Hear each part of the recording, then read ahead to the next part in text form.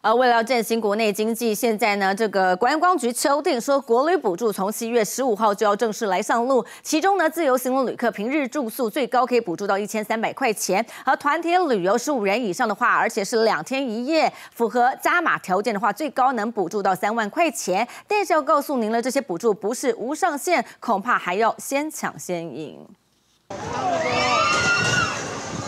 放声尖叫，体验刺激的游乐设施，以往暑假绝对少不了这些画面。不过疫情冲击两年多，人潮稀落，观光局终于敲定国旅补助，七月十五号正式上路。不会说因为那个一千三或怎么样去就去旅游了，这是会吸引。可是问题是最近疫情期间，所以不太会出门，也不太会想说要去旅行的部分啊。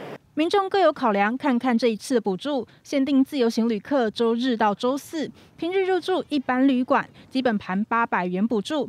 入住有环保标章、自行车友善认证等旅宿，或是打满三剂疫苗投诉一般旅馆，才能获得一千三百元。双重门槛之外，还得手刀快，先抢先赢。这一次的一个补助，并不是无上限的一个经费，而且有这样的出团旅游的一个补助呢，当然大家会抢订房。至于团体旅游，这回也寄出补贴，特色旅游增加到三十五团，但同样规定每团得要十五人以上，而且两天一夜以上，才能获得两万元津贴。算下来，高达七项加码条件，才能达到补助天花板三万。